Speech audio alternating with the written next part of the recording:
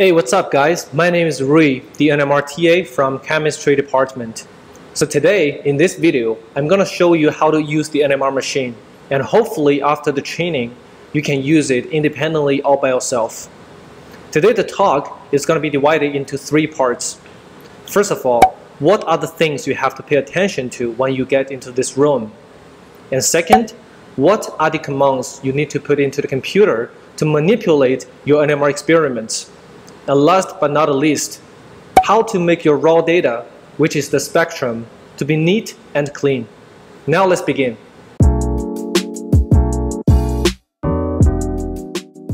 As you can see here behind me, that is a 500 MHz NMR machine made by Bruker.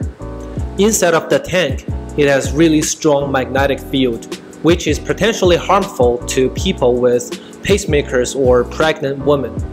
So if you are in these situations, please ask for help from your workmates.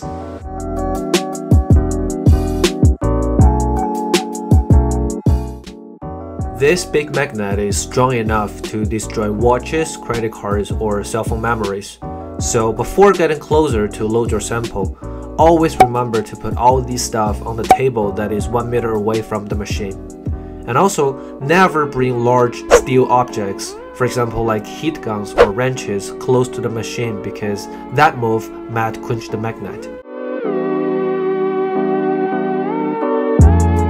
In our campus, both 400 and 500 NMRs are equipped with a cryo probe to increase the sensitivity of the signal. So before login, please always check the cryo platform and you should see a solid blue light on. If you are seeing a blinking blue light or any other situations, that means the cryo probe is either not ready or malfunctioning. Do not run anything and report it immediately. In terms of the sample handling, there are three things to remember. To load the NMR tube into the machine, you should use the spinner. And we have many of those. Just pick one that fits the tube properly, not too tight or loose. And second, please always use the sample gauge that we provide to measure the correct sample depth. This is very important because if you insert your tube too deep, that will get the sample stuck. Whereas if it's too shallow, you will have locking or shimming problem during your NMR experiments. And I will discuss about this part later.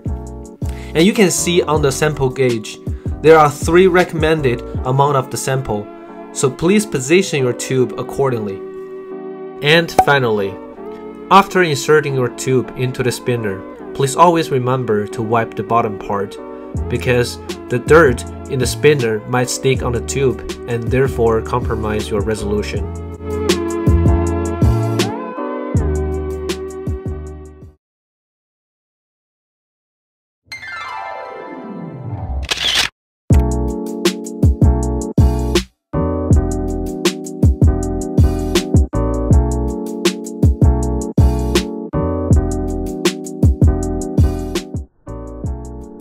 To load the sample into the machine, we are using the 24 sample auto sampler, which sits at the side of the magnet. This is pretty powerful because you don't have to go up the ladder to change the sample anymore like the old ways. So on the auto sampler, you can see the blue button is for rotating the panel clockwise, and the green button is to inject your sample into the machine. Another way to insert your sample is typing in SX space the number of your sample holder.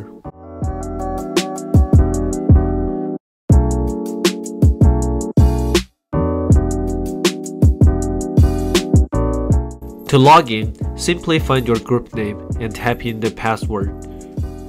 The app we are using is TopSpin 3.2. When you open it, you will see a window like this. So this slot at bottom part is where you type in the commands. The first command you will be needing is edc, that is to create a new file. So here are the things you would do. First of all, give a new name to your file, and to make your life easy, keep the title as the same.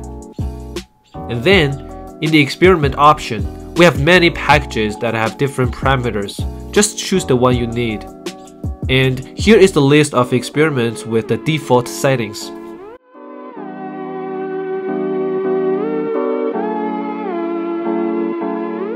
And next, you want to choose the red solvent and update your data path in DIR. Actually, just make sure that is your own folder. Always remember to check the box execute getprosol. If everything is done, you're good to go. The next command you are using is atma atma. The purpose of this is to tune the probe frequency. And why? Simply speaking, NMR stands for nuclear magnetic resonance, and we are tuning the probe frequency to match the nuclei so that we have the resonance. Here is a common mistake. If you are doing a carbon NMR right after a proton one without doing the ATMA, you will have no signal. The next command is rsh space shims.best.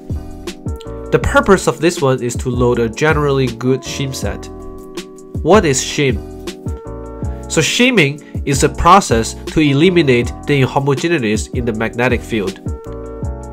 Initially, the magnetic field is far from homogeneous, and the sample became slightly magnetized when you insert it in, and that creates the additional inhomogeneous fields.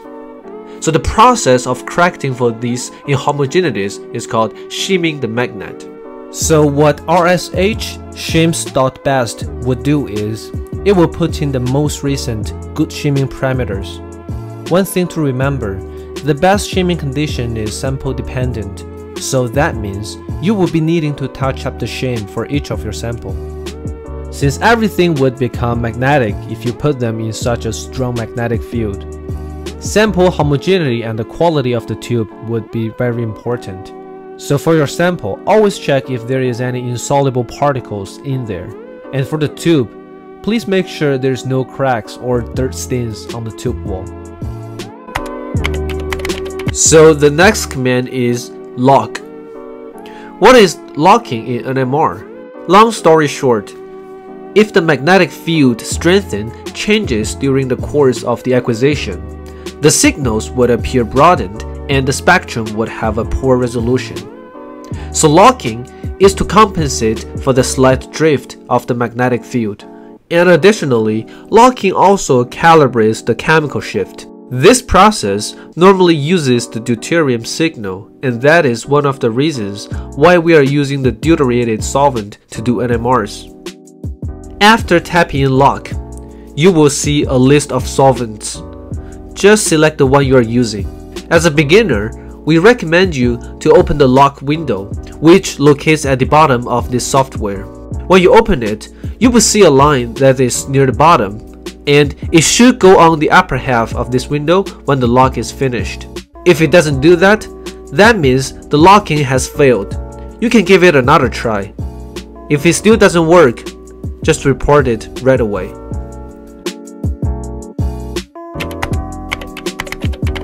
Next, top shim. This command is to finish the shimming.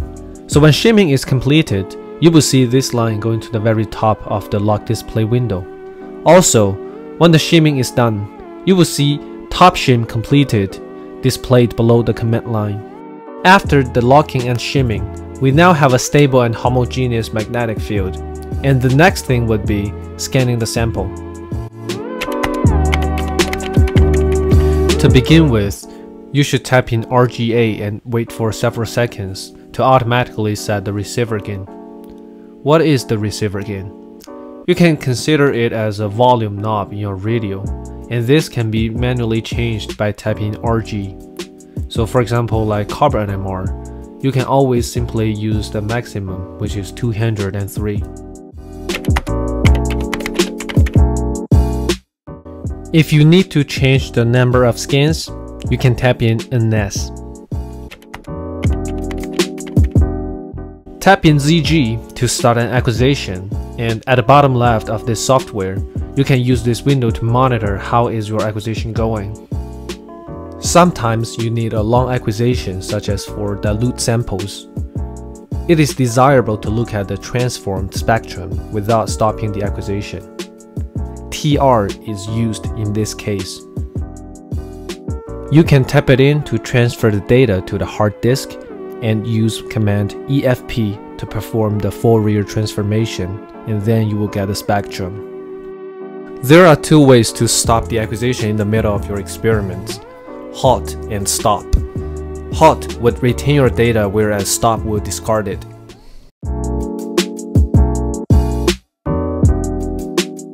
So here is the spectrum you will obtain after the Fourier transformation by the command EFP. And as you can see, the phase is severely distorted and you can correct them automatically with the command APK. Here's one thing to remember. The automatic phasing routine doesn't often do a good job, so you really want to double check the baseline before moving on and correct the phase manually if it's necessary. To take a close look at the baseline, what you're gonna do is scaling up the spectrum to the point where you're looking at the blown up view of it. The objective of the phase correction is to make the baseline to be visually continuous and you can see here this spectrum, actually the baseline is pretty good. Most of time, this is what you get. As you can see here, many lines are not in phase at all and that requires you to do the menu phase correction. To do that, find the icon process on the top and then click on adjust phase.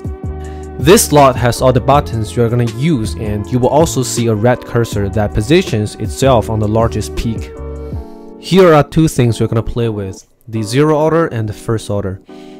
So the zero order is to correct the phase of all peaks to the same degree, whereas for the first order, the correction amount is actually proportional to the distance to the cursor.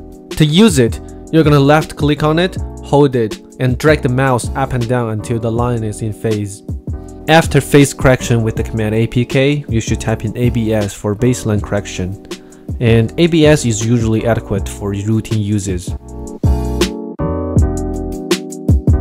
Now it's good for the integration. Just keep in mind that peak heights are not a good measure of the population, so instead you are measuring the peak area.